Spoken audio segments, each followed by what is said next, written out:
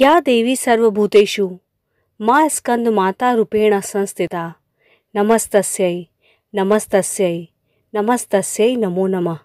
जय माता दी दोस्तों, कैसे हैं आप सब? एक बार फिर से स्वागत है आप सभी का हमारे चैनल अखंड ज्ञान में। भगवान कार्तिकेय का एक नाम स्कंद भी है। इसीलिए माता दुर्गा के पाँचवें स्वरूप को स्कंद माता के नाम से जाना जाता है। माता दुर्गा के इस पाँचवें स्वरूप की पूजा करने से भगवान कार्तिकेय की पूजा स्वयं ही हो जाती है।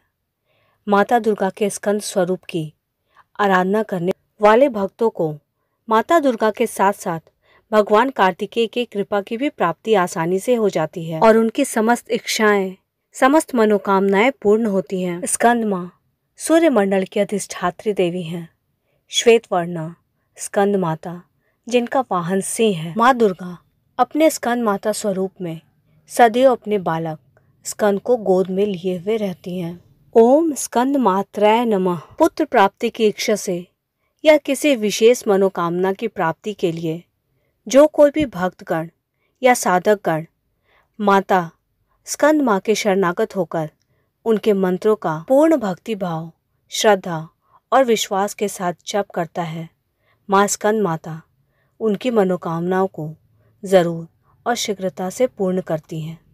वंदे वांछित कामार्थे, चंद्रार्थ कृत शेखराम सिंहरूड़ा चतुर्भुजा, स्कंद माता यशस्विनी मातृत्व की प्रतिमूर्ति, माँ स्कंद माता। अत्यंत ही भक्त वत्सल करुणामयी, दयालु, कृपालु, माता स्कंद माँ अपने भक्तों को, अपने पुत्र की भांति स्नेह देती हैं।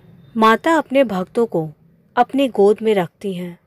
इस संसार के सारे भौतिक सुखों को भोग कर उनका भक्त माता की गोद में बैठे हुए बहुत सागर को आसानी से पार कर लेता है। हे सर्वशक्तिमान, परम दयालु, करुणामयी, तीनों लोकों में मातृत्व स्नेह की प्रतिमूर्ति माता स्कंद माता, नाम से प्रसिद्ध देवी माँ दुर्गा, आपको मेरा शत शत बार प्रणाम है। आप सभी दोस्तों, परम दयालु, कृपालु माता स्कंद माँ के शरणागत होकर अपने जीवन को सरल, सार्थक और सिद्ध बनाएँ। जय माँ स्कंद माता, जय माता दी।